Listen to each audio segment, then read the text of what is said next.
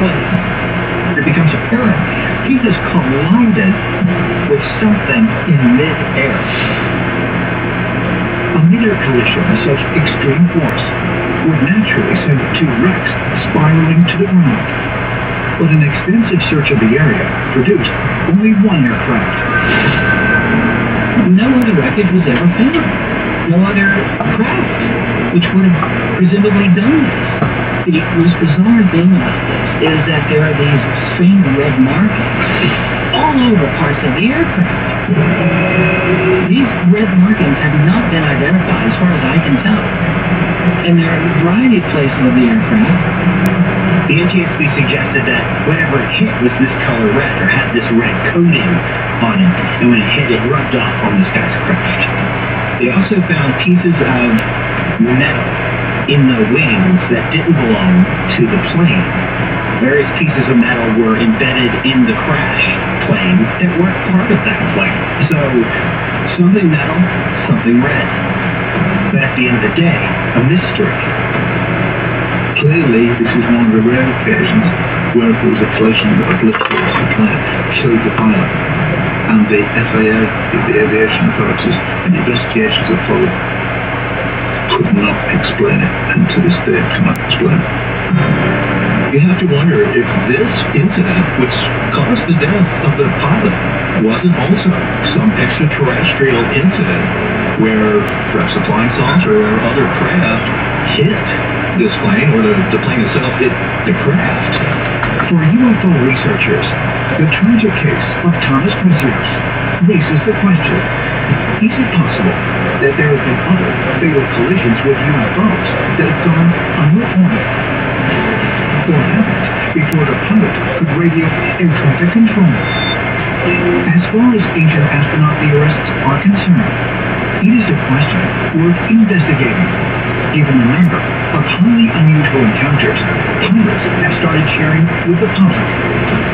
And while the FAA continues to dismiss such reports, another government agency, one focused on outer space, is taking notice of possible extraterrestrial activity on Earth. The world's most mysterious hotspot is coming to a town near you. The first secret of Skinwalker Ranch live tour. The ranch continues to surprise. Find out what the team is working on and how close they may be to revealing the secret of the ranch. I can't wait to see what we're going to find. Get your tickets at the secret of Tour.com. With speaking customers. Just want to speak to customer service representative. I'm sorry, I didn't get that. Yeah, that's what we think it's to. Oh, buddy, come here. We need a hug. There you go. You also need consumer stuff. You'll talk to a real person every time. As nice as you, much nicer. Well, almost. Get the exact same coverage as the nation's leading carriers and 100% U.S.-based customer support starting at $20. Consumer support. Come to TurboTax and don't do your. We an expert them for you. You can do no. At CDW, we get your team to work in different places, in different ways, and across countless different networks. So how do you get everyone on the same page? Microsoft Surface devices, orchestrated by CDW. They adapt to each user and deliver multi-layered security, so your workforce gets seamless experiences wherever they roam. For devices that fit your unique workforce, trust Microsoft Surface and IT orchestration by CDW.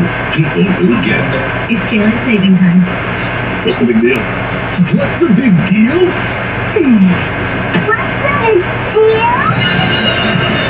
Daylight saving is the biggest deal of the year. Stop at the lane, save up to twenty dollars on the best Scotch products.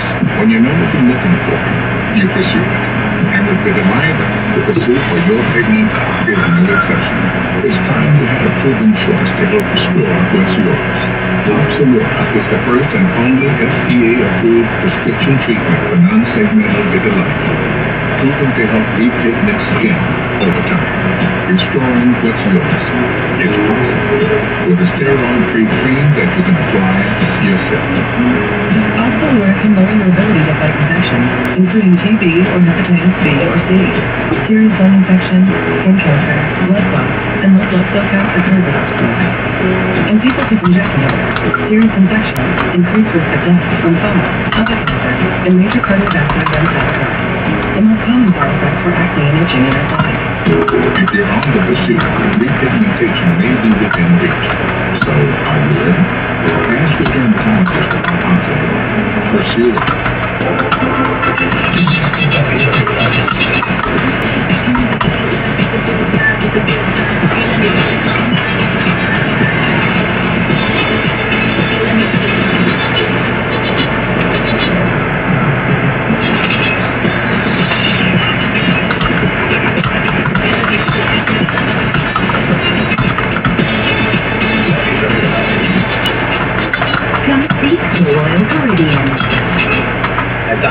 Obsessed with delivery.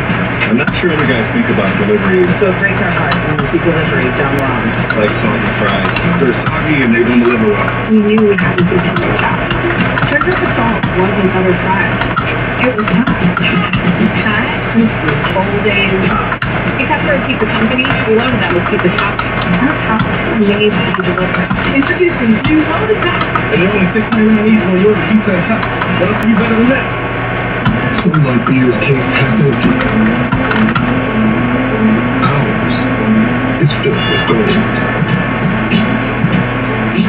Modelo Oro, the light beer worthy dominion gold.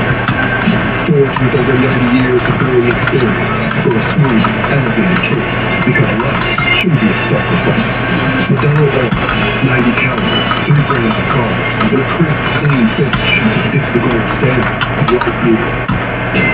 In recent years, more and more pilots are coming forward to say that unidentified aerial phenomena pose a serious risk to the flying public. The Federal Aviation Administration, however, continues to downplay the danger. The FAA is all about flight safety, and yet they don't accept UFO or UAP reports from civilians. The FAA is essentially telling you, civilian, I don't care what you've encountered, and we don't have to keep statistics on it, and we therefore don't have to do anything about this impossible phenomenon, which we don't know what we could do. The FAA does not want civilians reporting UFOs because they don't want the public stirring the pot. This is something that could, in theory, become actionable through FOIA requests, for example. You have a civilian saying, I'd like to know how many civilians are reporting UFOs to the FAA. And then what do they do? How many thousands of reports are they going to be releasing? They don't want to get into that at all. I think it goes this idea not of air traffic safety, but not wanting to alarm the public. But now that the U.S. government is paying serious attention to UAP encounters reported by military pilots, at least one agency is ready to listen to civilian pilots as well. And to the surprise of many, Kenzo and Sushi in Zimbabwe. First, I traveled to the city of Davao, which is in the country of Togo. In Africa, when I arrived, I rented a house to stay a month in that place doing the mission. At dusk, I had a vision of a witch. She was invisible and passed through the walls.